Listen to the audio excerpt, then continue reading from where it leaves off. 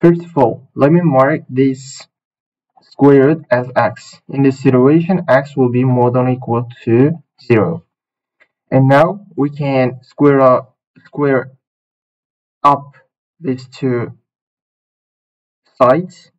So the square root of a minus 2 over 6 is equal to 6 here. And if we will square up the both sides, we'll get that x, x squared will be equal to a minus 2 over 6. If we will multiply both sides by 6, we'll get 6x squared will be equal to a minus 2. And we can now add up 2 to the both sides and we'll get 6x squared plus 2 will be equal to a.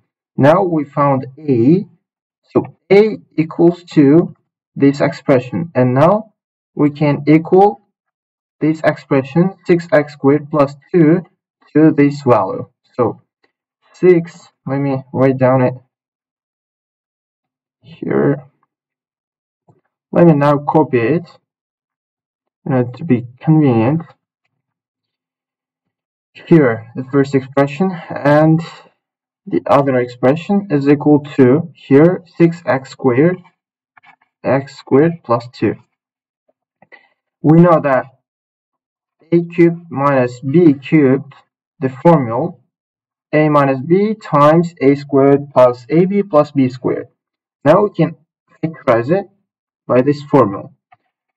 2022 minus 2020 2020 times 2022 squared plus 2022 times 2020 plus 2020 squared is equal to this expression. This is 6x squared plus 2. now we know that this is 2 and now we can divide both sides by 2. If we'll divide, we'll get the first and the second brackets. The expression that is in the second bracket. This one. And 2 and 2 will be cancelled and on the right side we'll get 3x squared plus 1 now we can the secret of this problem is to subtract from the both sides 4. Why is it so? I'll explain later. Now if we will subtract, we'll get the expression. Let me just delete this one.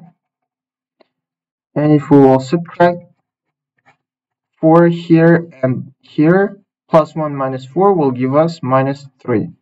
Here 3x squared minus 3. And here we can factorize this one as the squares. 4 squared we can write down 2 uh, 4 we can write down as 2 squared. And if we will subtract here, we'll, uh, we will if we will factorize here, we will get the expression 2022 squared plus 2022 2020 plus here we will get 2020 minus 2 will give us 2018 times 2020 plus 2 will get 2022 will equal to 3 times x squared minus 1 we just took off I uh, took out 3 here from the brackets. And now we can see that 2022 and we now can take out from the brackets this 2022 and we'll get 2022 plus 2020 plus 2018 oops 2018 and this will equal to 3 times x squared minus 1. And now we can write down 2022 as 2020 plus 2 and 2018 like 2020 minus 2 and now plus 2 minus 2 will give us 0 and we'll get in the bracket 2020 times 3 and it will give us 2022 times 3 times 2020 because 3 times 2020 give us in the brackets 3 times 2020 and it will equal to 3 times x minus 1 x plus 1 we can divide both sides by 3 and now we can get that this expression will give us 20 21 plus 1 and 20 21 minus 1 in this way it's visible that